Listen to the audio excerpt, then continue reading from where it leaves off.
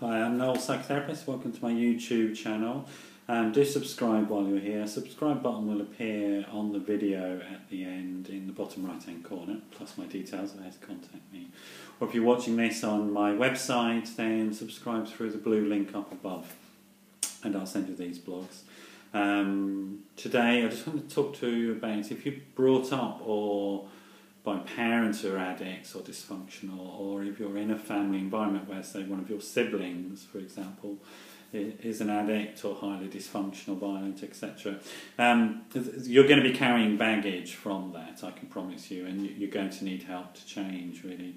Um, we all believe our own childhoods are normal, of course we do, uh, until we start moving out of that into the world and begin to look at the sort of um, what the baggage is that we carry for most people it's it's not an issue you know a little bit of unpacking a little bit of repacking it's all very comfortable.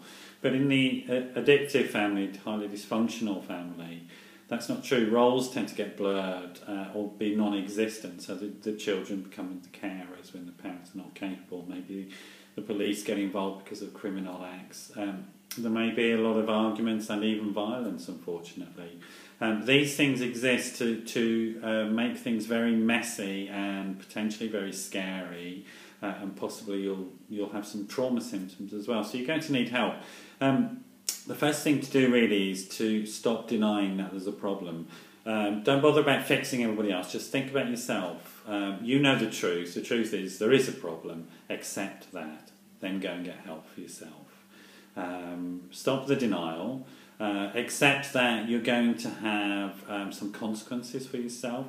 Go and find out what those consequences are. What has it done to you in terms of how you perceive yourself, your self esteem, skills in life, your relationship to other people? Make a list, get help, and find out about that. What roles have you been forced into in this family?